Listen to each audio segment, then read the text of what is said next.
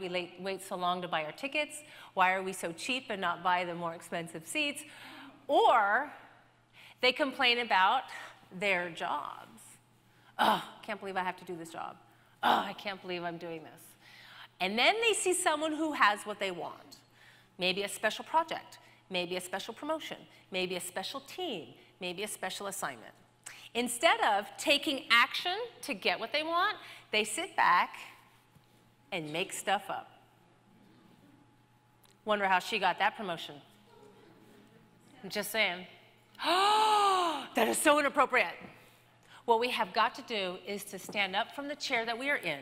We need to approach the people who have what we want, and we need to say, Congratulations. We need to celebrate women getting ahead or men getting ahead. We need to celebrate people getting what they want. And then in a separate conversation, say, You are such an inspiration. What advice do you have for someone like me who wants one day to be in a position like you? That's how we get ahead if that's what we want.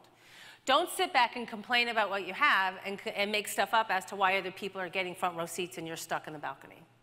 Because that seat is your choice. So you have to act on your vision.